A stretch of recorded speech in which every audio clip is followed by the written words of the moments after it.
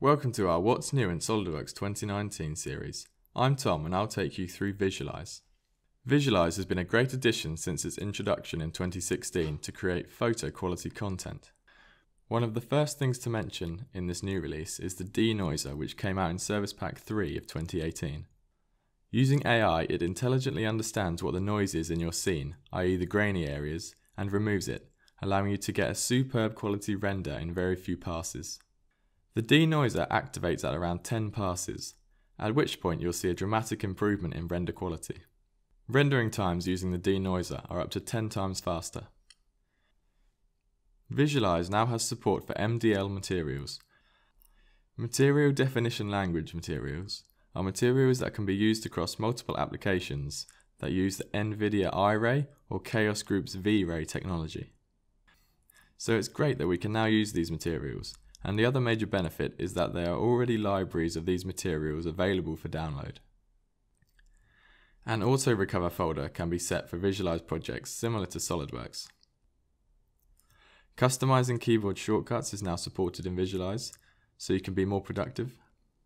Cross-highlighting between the model in the graphics area and the tree now occurs, similar to SolidWorks, and it's very easy to toggle visibility of components within the tree. Anything that has been hidden shows with the eye symbol next to it. It's now easy to duplicate items with the RMB menu, and you can now drag and drop items to reorder the model tree. We also improved decal support with more mapping types available.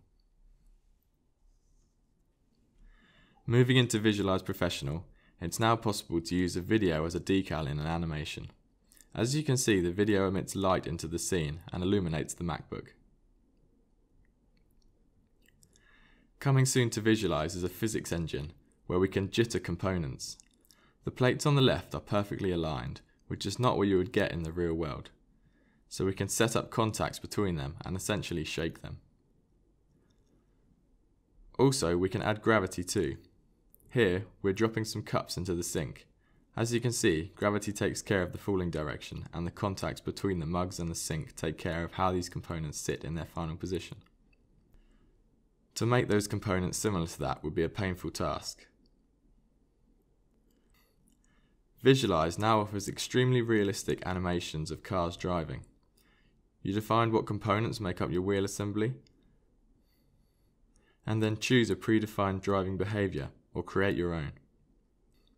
There are many settings that allow you to control suspension, wheel friction, etc. You can then watch the car bounce and move like it would in real life.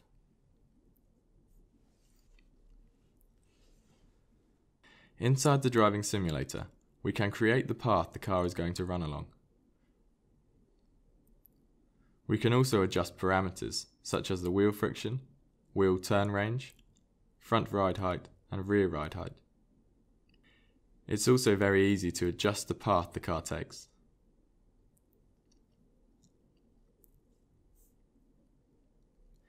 As we can see here, different camera angles can be created and used for capturing the motion.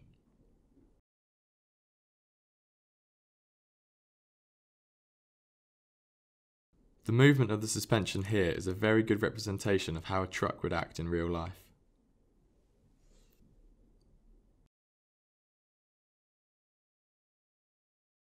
In summary, we've seen 2019 give us AI denoiser, real-time physics, gravity and jittering, video decals, driving simulator, NVIDIA MDL materials, and automatic data recovery. Thank you for watching.